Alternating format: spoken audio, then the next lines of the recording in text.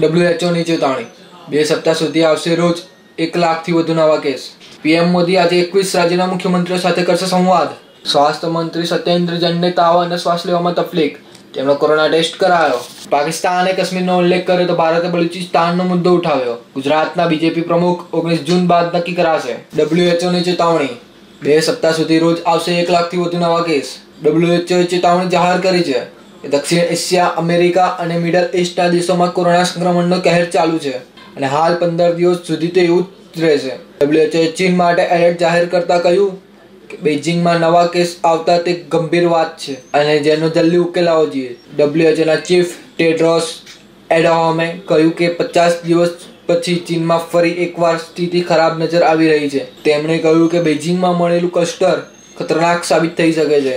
જેને સમય રહેતા નિયંત્રણમાં લેવું પડશે. ડબ્લ્યુએચઓએ માન્યું કે ચીનને તેની સામે આવતા કેસને સારી રીતે સંભાળ્યું છે, પણ આ કેસમાં વધુ સતર્કતા રાખવી જોઈએ. ડબ્લ્યુએચઓના ઇમરજન્સી ચીફ સંયુક્ત રાષ્ટ્ર હેલ્થ એજન્સી પણ બેઇજિંગમાં સંક્રમણ ફેલાવા બાબત, મામલે સતત ચીન સાથે સંપર્ક બનાવેલ છે.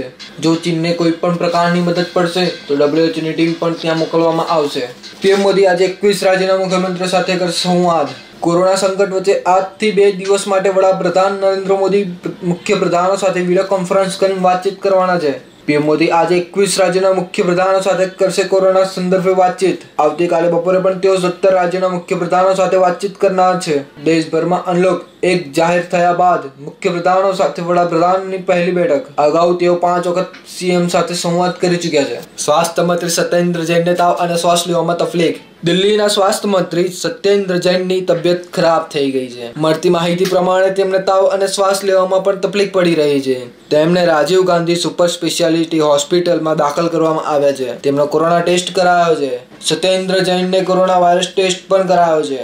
હાલ હોસ્પિટલમાં તેમને ઓક્સિજન સપોર્ટ પર રાખવામાં આવ્યા છે. તેમણે જાતે ટ્વીટ કરીને એડમિટ હોવાની માહિતી આપી છે. તેમણે લખ્યું કે તાવ અને શ્વાસ લેવામાં મુશ્કેલી પડી રહી છે. સારવાર અર્થે હોસ્પિટલમાં દાખલ કરવામાં આવ્યા છે. તેમણે જાતે ટ્વીટ કરીને એડમિટ હોવાની માહિતી આપી છે. તેમણે લખ્યું છે કે, તાવ અને શ્વાસ લેવામાં મુશ્કેલી પડી રહી હોવાથી મને સારવાર અર્થે હોસ્પિટલમાં દાખલ કરવામાં આવ્યો છે.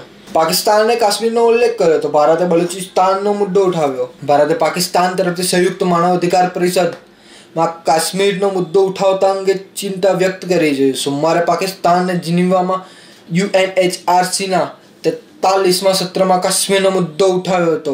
ભારતના સ્થાયી પ્રતિનિધિ સેન્થિલ કુમારે તેનો જવાબ આપતા કહ્યું કે પાકિસ્તાનને કોઈ પર પાકિસ્તાનને કોઈની પર આરોપ લગાવતા પહેલા પોતાની અંદર એક ડોક્યુ કરી લેવું જોઈએ.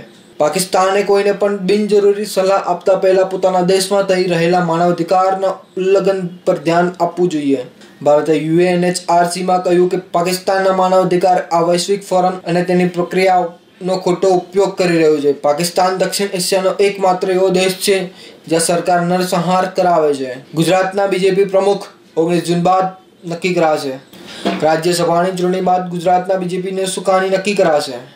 સૂત્રોની વાત માનીએ તો પ્રદેશ બીજેપીના પ્રમુખ જીતુ વાઘાણીના અનુગામી તરીકે કેન્દ્રીય પ્રધાન મનસુખ માંડવિયાનું નામ હોટ ફેવરિટ માનવામાં આવે છે. આ સિવાય અન્ય નામોની વાત કરીએ તો પૂર્વ ગૃહ રાજ્ય પ્રધાન રજની પટેલ, ઋષિકેશ પટેલ પૂર્વ આરોગ્ય પ્રધાન શંકર ચૌધરીનું નામ પણ ચર્ચામાં છે. રાજ્યસભાની ઓગણીસ જૂનના રોજ ચૂંટણી યોજનાર છે. ત્યારબાદ બીજેપીના કેન્દ્ર નેતૃત્વ દ્વારા પ્રદેશ બીજેપીના સુકાનીની નક્કી કરી દેવામાં આવશે. પ્રદેશ બીજેપીના પ્રમુખ કોણ બનશે તેને લઈને સમગ્ર ગુજરાત બીજેપીના નેતાઓથી લઈ કાર્યકર્તાઓ આતુરતામાં રાહ જોઈ રહ્યા છે.